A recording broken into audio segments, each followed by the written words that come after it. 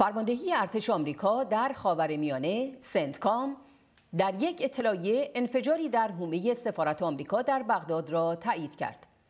در این اطلاعیه آمده است که انفجار تلفاتی برای نیروهای آمریکایی یا نیروهای اطلاف نداشته است. بیل اوربان سخنگوی سنتکام در این اطلاعیه گفت نیروهای امنیتی عراق در حال تحقیق حادثه یکشنبه هستند.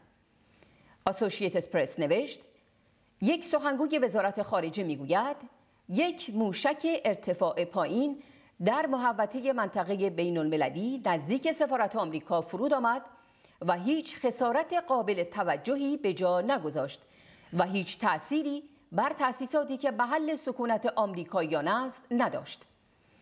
این سخنگو گفت چنین حرکاتی تحمل نمی شوند و با شیوهی قاطع پاسخ داده می شوند و اگر این گونه حملات توسط شبه نظامیان نیابتی رژیم ایران یا عناصری از این گروه ها باشد آمریکا رژیم ایران را مسئول آن می داند.